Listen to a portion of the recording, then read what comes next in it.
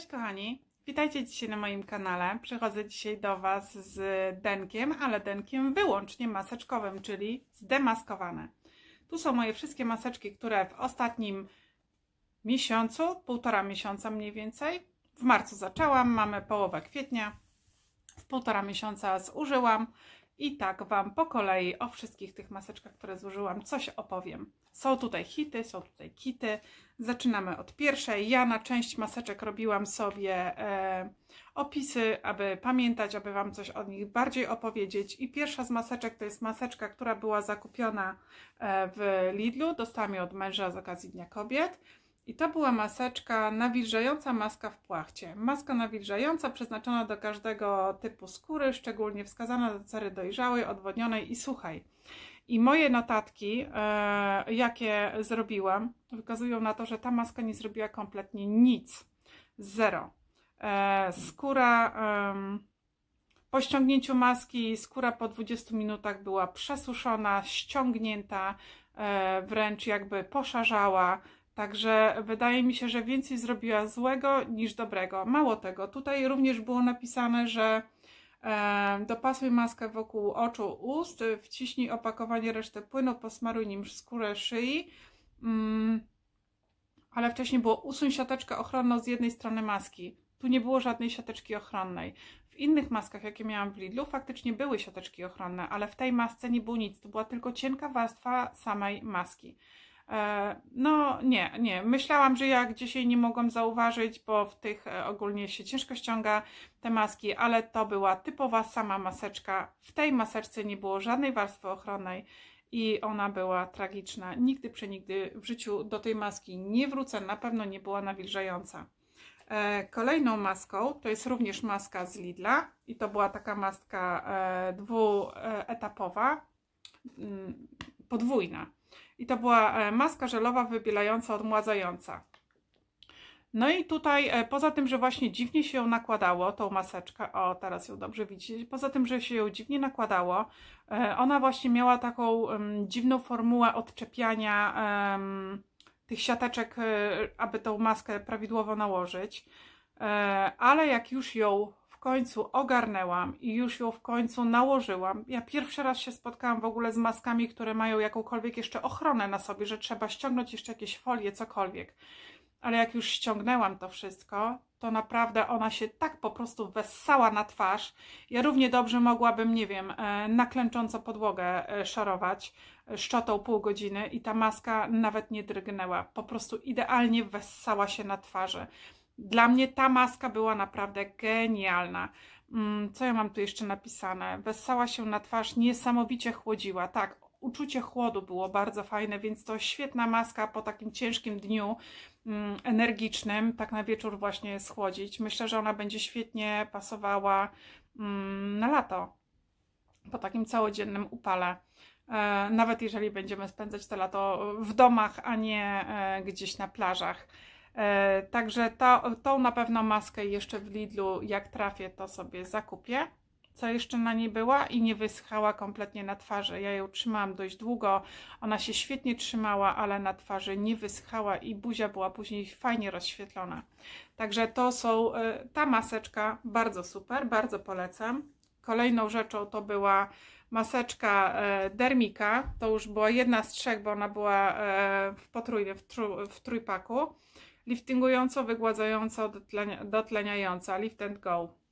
No i co Wam powiem, śmierdziała, kleiła się, makabra.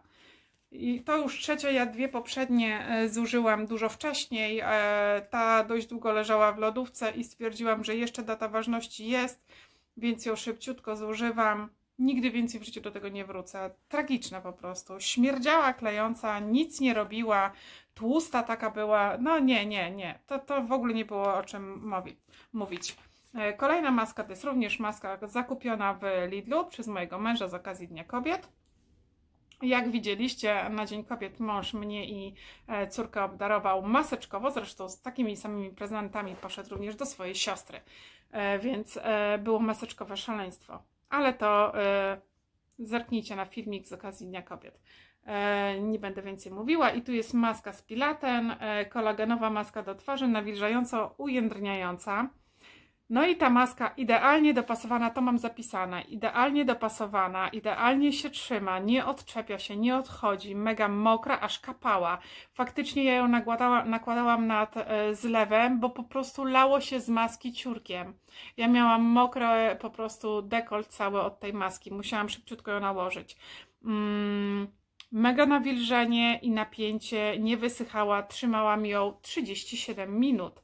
Także e, naprawdę maska warta. E, to były opisy na świeżo. Starałam się tak robić z maseczkami. Jeszcze tylko jedną mam opisaną, e, ale akurat jej tutaj już jeszcze nie ma, bo jeszcze jej nie zdenkowałam, bo ona była w słoiczku. Więc tą maskę jak najbardziej polecam. Bardzo fajna, więc też na pewno ją kupię. Kolejna maska to jest maska z Perfekty, ampułka hialuronowa, sok alasowy, multikwas hialuronowy. 90% poprawa e, nawilżenia już po jednej aplikacji. I faktycznie, to jest jedna z dwóch. Mam jeszcze jedną e, w łazience, e, więc ja to faktycznie bardzo lubię nakładać, ale na noc. Absolutnie to się nie nadaje. Na dzień, na noc jak najbardziej ja to nakładam. Skóra faktycznie rano jest wypoczęta, nawilżona, mm, elastyczna bardziej no i zapach ma taki dość przyjemny, więc jak najbardziej to jest dość tania maseczka. Ona złoty 99 bodajże kosztowała albo 2,99 w Rossmanie. Ta jest bardzo fajna. Kolejną rzeczą, jaką e, wykończyłam, to były ampułki, e, ampułki z balei. Ja je sobie zakładałam, oleiste takie. Nie ma tu nic po polsku, więc ja Wam tu nie, nic nie powiem, bo ja to zamawiałam razem z całym zamówieniem Balea. Mm, jeżeli chodzi o te ampułki, e, na noc je nakładałam w okolice oczu, masowywałam. E, bardzo oleiste e, są, ale świetnie nawilżały tą okolicę oka. W jakiś sposób nawet stwierdziłam, że wyzbyłam się sińców. Ja dopiero teraz zauważyłam, jak przestałam to stosować, że czasami mi się sińce pojawiają. Tutaj skóra faktycznie była taka mokra, nawilżona, bardzo fajny produkt, bardzo chętnie do tego wrócę, jak będę robiła jakieś zamówienie z balei, na pewno też sobie kupię. Kolejną rzeczą jest kolejna maseczka i tu już widzę, że to jest chyba witamina C, liftingująca, mm, przeznaczona do każdego rodzaju typu cery, zwłaszcza suchej i wrażliwej, doskonałe nawilżenie, napina i wzmacnia skórę, jednocześnie przywraca jej elastyczność i działa przeciwzmarszczkowo. E, spowalnia proces starzenia się. E, żadnych efektów przeciwzmarszczkowych absolutnie w żadnej masce nie widziałam, e, w żadnej z tych, które pokazywałam. Ta faktycznie nawilżyć nawilżyła, czy lekko napięła? Może delikatnie. Gdzieś tam tą elastyczność w ogóle czuć po tych maseczkach, oczywiście poza tamtą niebieską. Także na pewno ja do niej wrócę ale jak będzie troszeczkę tańsza, bo wydaje mi się, że dychę za taką maskę, która w sumie za dychę można kupić wiele innych masek, o wiele fajnie działających. Nie była zła, ale e, też szału większego nie zrobiła. E, to jest to, co robi na mnie szał. Uwielbiam płatki pod oczy z Faberlika, Prolixir. No genialne. Dla mnie są to najlepsze płatki pod oczy. Jedne z najlepszych, bo mam już lepsze ale e, za każdym razem jak w Faberliku składam zamówienie, zawsze zamawiam te płatki. Te płatki naprawdę są genialne, uwielbiam te płatki. E, na razie w Faberliku składać zamówienia nie zamierzam. E, no chyba, żeby mi się drastycznie chemia pokończyła, ale jakoś na razie jestem zrażona, więc e, nie będę zamawiała, ale jak mi się uda gdzieś e, dostać tu na miejscu, pewnie wesprę, bo są naprawdę rewelacyjne. Tutaj kolejną maseczką to była maseczka z rozdania, e, maseczka z bielendy, z bielendy mm, probiotyk banan i melon, probiotyczna maseczka energetyzująca. Mm. No i powiem Wam szczerze, że na początku przepięknie pachniała bananem, naprawdę. Melona nie bardzo dało się wyczuć, troszeczkę może bardziej arbuza czułam niż melona, bardzo ładnie pachniała, ale tylko podczas nakładania. Później ten zapach gdzieś zniknął. Mm, buzia była faktycznie bardziej nawilżona. Mm, jakieś efekty miała, ale większego szału nie zrobiła. Później wręcz e, ten zapach mi zaczął po 15 minutach już przeszkadzać i troszeczkę ciężko mi się ją ściągało. E, była taka strasznie tłusta cera po tym wręcz była. Wręcz bym powiedziała, że była przewilżona, a nie nawilżona. Więc no, chyba do tego raczej produktu nie wrócę, pomimo że Bielendę bardzo lubię. Kolejną saszetką, jaką tutaj mam, to była jakaś próbka e, żel micelarny do mycia oczu i twarzy z taupy. Bardzo fajny produkt. Ja ogólnie uwielbiam produkty Stopy, ale nie wszystkie, bo część mi się sprawdza, część uważam, że nie robi kompletnie nic. Ale to było całkiem fajne. No i to jest to, co yy, ja teraz bardzo pokochałam. Płatki z Eveline, kolagenowe. Czy ja tu mam coś po polsku? Mam. Zabieg liftingujący, e, hydrożelowe płatki pod oczy. To intensywny zabieg liftingujący, ujędrniający, który, który nie wiem co, bo jest urwane. Stwa napina skórę, zmniejsza widoczność zmarszczek. E, faktycznie przegenialne płatki. Naprawdę. Dla mnie one są lepsze od płatków Faberlica. Do tej pory Faberlic był moim e, takim topowym e, kosmetykiem, topowym, e, topową maseczką pod oczy. W tym momencie to jest lepsze. E, no i tutaj mam również z Dermofuture, polska marka 590, tak jak Eveline, jak Bielenda. Um, przeciwzmarszczkowy krem naprawczy ze śluzem ślimaka. Ja to zakupiłam wraz z jakimiś rzeczami na Allegro. E, to była próbka 12 ml, zapłaciłam za to 8,99 albo 7,99. Um, no i powiem szczerze, że jakoś nie wiem, na mnie ten śluz ślimaka po prostu nie działa. Ja, mnie wręcz swędzi skóra. To jest chyba składnik, po którym niekoniecznie ja się dobrze czuję. Nie wiem, no, no nie widziałam jakichś spektakularnych efektów, w sumie żadnych efektów nie widziałam. Troszeczkę mnie drażnił ten zapach, jaki tutaj jest. Krem nie jest ogólnie zły, jeżeli mm, widzicie działanie tego śluzu ślimaka, ilekolwiek by go tu nie było. E, no, z tej marki uwielbiam szampony. Krem nie sprawdził mi się. Na pewno po niego więcej nie sięgnę. Dzięki Bogu kupiłam tylko takie małe opakowanie. E, kolejną rzeczą, kolejną maseczką to jest maseczka z e, Merc Special. Była w duopaku, dostałam ją w zastępstwie za jakąś maseczkę Balei, której nie było. No i ja do tego produktu więcej nie wrócę. Jedną tą zużyłam, drugą podarowałam bodajże w ostatnim chyba rozdaniu, a jak nie, to mam do następnego rozdania. E, wytestujecie sami albo wytestowała już e, Justyna, która ostatnio wygrała u mnie zegarek.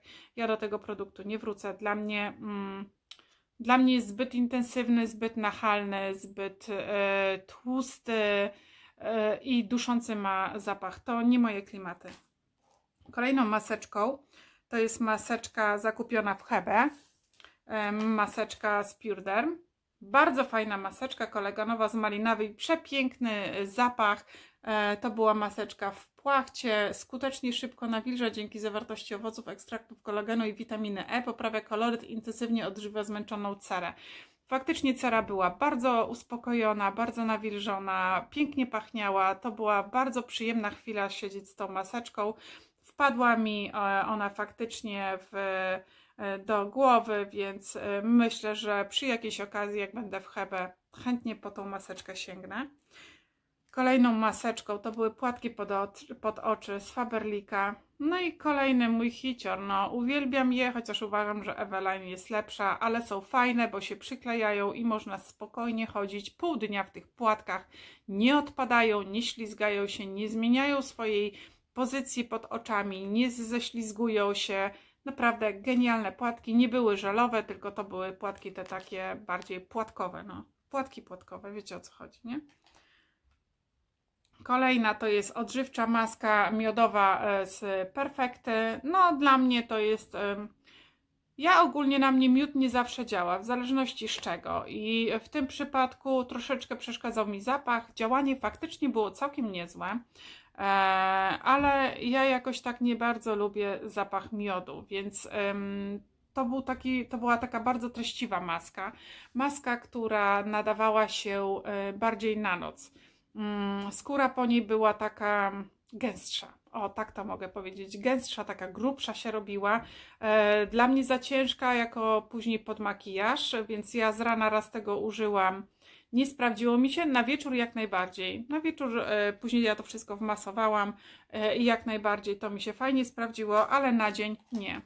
Kolejne płatki pod oczy Pilaten, e, to już mówiłam, uwielbiam te płatki, są świetne, chociaż wszystkie Eveline i wszystkie inne są o wiele, wiele lepsze, ale te kosztują 2 zł, tamte kosztują 8 zł, różnica jest spora. Mm, ale jeżeli nie mamy ciężkiej nocy, to te płatki sobie świetnie dają radę i ja do tych płatek na pewno wrócę jeszcze nie raz. E, kolejną moją już przed, przedostatnią, propozycją, przedostatnią propozycją to jest maska żelowa ekspresowy lifting z Faberlika i to była maska w płachcie, bardzo fajna, chociaż jak dla mnie troszeczkę za mała. E, ona mi się tak kończyła mniej więcej tutaj, nie zakrywała mi całej buzi, ale bardzo fajny efekt nawilżenia, chłodzenia, liftingu, napięcia, mm, gęstości skóry, e, rozświetlenia. Ona w sumie robiła wszystko. Może to nie było jakieś nie wiadomo jakie spektakularne e, odkrycie u mnie, ale bardzo pozytywne zaskoczenie. Ja za tą maskę zapłaciłam coś koło 4 zł, bo ona była na jakiejś promocji, później mi wpadła na jakichś tam punktach dodatkowych za jeszcze tańszą i ja za nią coś koło 4 zł zapłaciłam. Także naprawdę maska jest bardzo fajna. Jak, e, uważam, że jak za takie pieniądze to jedna z najlepszych masek e, przy takiej kwocie. I ostatnie to są również Eveline e, Coenzym Q10, płatki pod oczy, w których się równie tak samo zakochałam jak w tamtych czerwonych. Naprawdę genialne płatki, świetnie napinały. Ja nie miałam takiego problemu, jak w tym momencie u mnie widać te kurze łapki. Ja się ich nabawiłam tak naprawdę raczej nie ze względu na swój wiek, jaki mam, ale raczej od solarium. Kiedyś z koleżanką poszłam na solarium i ja po prostu wyszłam po tym solarium e, pomarszczona, jak nie wiem co. U mnie się zmarszczki po solarium pojawiły błyskawicznie. To była moja pierwsza i ostatnia wizyta e, i od tamtej pory bardzo moja skóra na tym ucierpiała. E, także pewnie wiek też robi już w tym momencie swoje, ale e, jednak to, te płatki e, bardzo szybko mi blokowały moje kurze łapki. Jakich nie używam, to je widzę, jakie używam, to ich przez ładnych parę godzin nie widać, więc świetnie napinają skórę pod oczami i nawilżają również. I to by było na tyle. Dziękuję Wam ślicznie za to, że przetrwaliście ze mną do końca, za zdemaskowanie moich masek. Kolejne maski są już w obiegu, muszę się wyzbyć już tych opakowań i będę demaskowała kolejne denko. Mam nadzieję, że takie denko zdemaskowane Wam się podobało, bo e, wiem, że tak samo kochacie maseczki jak i ja i mam nadzieję, że przynajmniej wiecie, po co warto, warto sięgnąć. Oczywiście no nie do końca się musicie sugerować moimi opiniami, bo wiadomo, że każda z nas ma inną cerę, każda z nas ma inne potrzeby, jeżeli chodzi o maseczki. E, i każda maseczka na twarzy u każdej z nas będzie się inaczej zachowywała. Jednym się to podoba, dla innych to jest badziew, nic nieskuteczny. Jedna ma skórę taką, druga taką, więc e, to jest moja opinia. U mnie się to sprawdziło albo się to nie sprawdziło, e, ale często jest jednak tak, że większość rzeczy, która u mnie się sprawdza, później dostaję komentarze, ja też to miałam i też jestem z tego zadowolona. Także no mam nadzieję, że jakąś sugestię, jakąś opinię Wam dałam, którą się będziecie w stanie zasugerować. I dziękuję Wam ślicznie za dzisiejszy dzień. Życzę Wam miłego dnia, trzymajcie się cieplutko i do zobaczenia w następnym odcinku. Buziaczki, pa!